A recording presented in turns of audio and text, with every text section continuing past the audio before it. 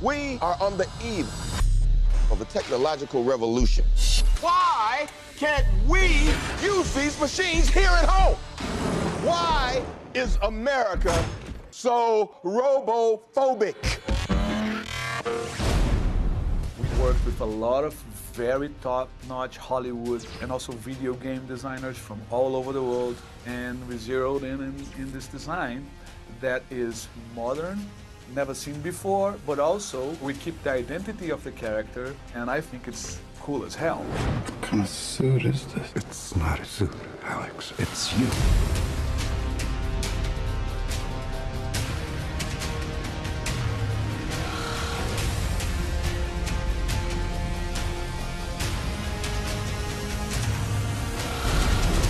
People really don't know what they want until you show it to them. Make them more tactical. Make them look, uh, let's go with black. The black suit is the second iteration of the suit that we see within the movie. The first one being the original silver suit, reimagined. Your armor. State of the art, but not invulnerable. As it refined, it became sleeker, it became glossy, it became black. This, my friends, is the future of American justice. We had a number of test fittings with Joel, and it was kind of walking the balance between getting this to be something scary, but at the same time, you want it to be friendly enough that people are rooting for this guy. The revolution begins right now with Detective Alex Murphy. Joel is stuck in this big black suit all day long. That suit, they do not make it easy, and I can't imagine it breathes. He really knew how to kind of transcend it.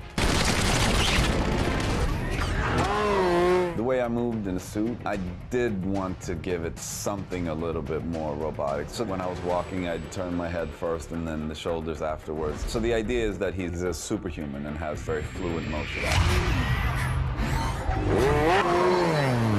Out of all the action scenes that I've done throughout my career, this was the most fun. We had great stunt coordinators and, and great stunt guys. And you know, while you're acting, you know, the suit is very helpful. It creates 80% of the character on its own. In between takes, when you're trying to hang out and just talk, you're constantly uncomfortable, but it completely helped my character.